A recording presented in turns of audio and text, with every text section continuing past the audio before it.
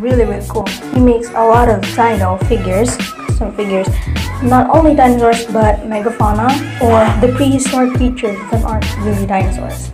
So, what are you waiting for? Subscribe now.